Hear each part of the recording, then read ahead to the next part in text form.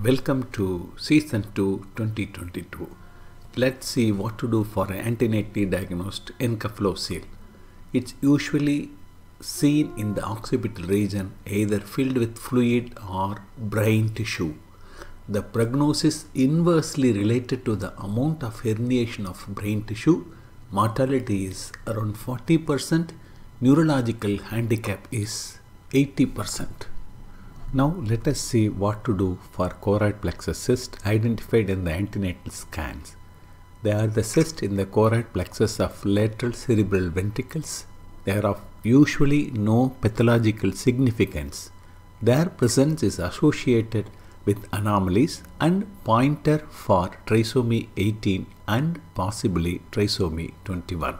Thank you very much for your time. Let's see again tomorrow for another jam.